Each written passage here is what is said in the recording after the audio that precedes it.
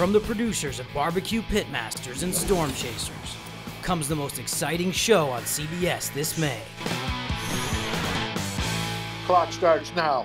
There's a lot of money on the line, $20,000. Kingsford Cup. At $20,000 in a five-hour cook, you're looking at $4,000 an hour. Rub a dub. We got nine minutes, buddy. Uh, every minute means for a lot of money.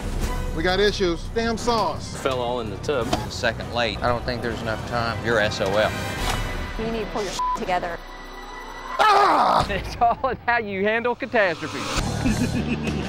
Tune in as the best barbecue competitors in the world fight it out to become the champion of the Ultimate Barbecue Showdown. So get you some of that.